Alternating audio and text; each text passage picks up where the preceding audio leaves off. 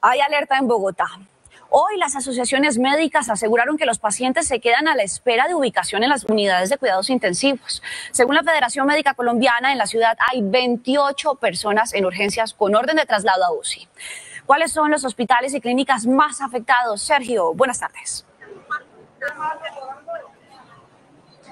Gabriela, pues la alerta se ha emitido por parte, en este caso, de las asociaciones hacia la red privada de la capital de la República. Son nueve clínicas en el centro eh, norte de la ciudad que están en este caso con ocupación al 100%. Han indicado también las asociaciones médicas que hay déficit de personal. Un 30% del personal que está dedicado a la atención en las unidades de cuidados intensivos se encuentran incapacitados. A continuación les entregamos más detalles sobre estas alertas que hacen las asociaciones médicas. La Federación Médica Colombiana lanzó una alerta sobre la ocupación de las unidades de cuidados intensivos en Bogotá. Nos han reportado desde distintas instituciones de salud. En este momento verificamos cuatro de ellas donde tenemos 28 pacientes ventilados en urgencias que tienen requerimiento de UCI. Expresa que hay demoras en las remisiones y hace un llamado al distrito para mejorar el sistema de información público sobre las UCI, pues no se evidenciaría el panorama real que vive la ciudad en el sistema de información distrital se habla de una ocupación de un 75, un 78%, quiere decir que hay UCI disponibles. Luego no entendemos por qué si hay UCI disponible no se da el traslado inmediato de estos pacientes críticos, que debe ser un traslado que por su condición crítica debe darse en un tiempo inferior a seis horas.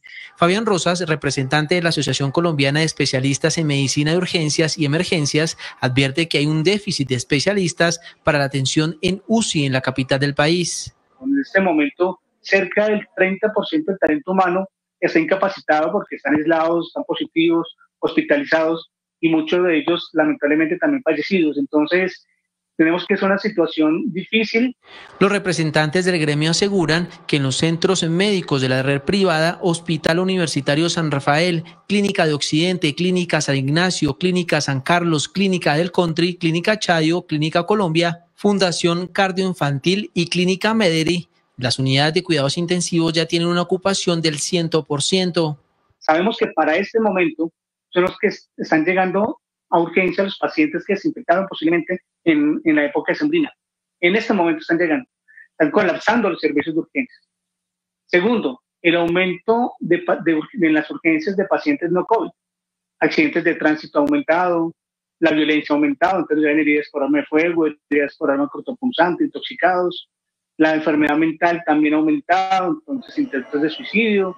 Razón por la cual hacen un llamado a la ciudadanía para aumentar el autocuidado. Evitar aglomeraciones, evitar ir a sitios de alta concurrencia de público, centros comerciales, al centro de la ciudad, del comercio. Entiendo y, y somos conscientes de que la situación económica no es fácil, pero si la hacemos de una forma responsable, podemos salvar muchas vidas. Ante la crítica situación que se evidencia en la ciudad, se deben mantener las medidas de bioseguridad con el fin de evitar nuevos contagios y por ende ingresos a los servicios de urgencias y las UCI.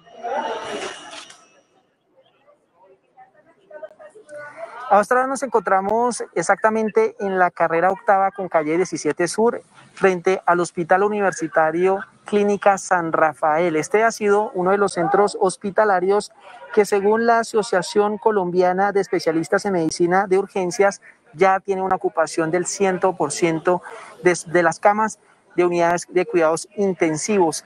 Eh, en este caso están solicitándole al distrito entonces que se agilicen esos traslados para evitar pues situaciones de emergencia en esta eh, clínica y adicionalmente, pues hay que recordar que son nueve, nueve los centros hospitalarios privados que según las asociaciones médicas ya tienen ocupación del 100% de unidades de cuidados intensivos con pacientes incluso también no solo de COVID-19, sino no COVID-19, personas con accidentes de tránsito, eh, enfermedades en este caso de base, eh, y otras eh, patologías que están siendo precisamente demandando también eh, servicios en las unidades de cuidados intensivos. El llamado que está haciendo la asociación es evitar en este caso aglomeraciones, cuidarse nuevamente, evitar en este caso también las reuniones con familiares o no reuniones con, con, personas que no hagan parte del grupo, del grupo familiar y adicionalmente pues tener los protocolos de bioseguridad. Eh, les cuento adicionalmente que a esta hora se desarrolla una reunión en la Secretaría de Salud para evaluar esta situación y estas denuncias. Esta es la información que tenemos eh, desde el centro de la ciudad, Gabriela.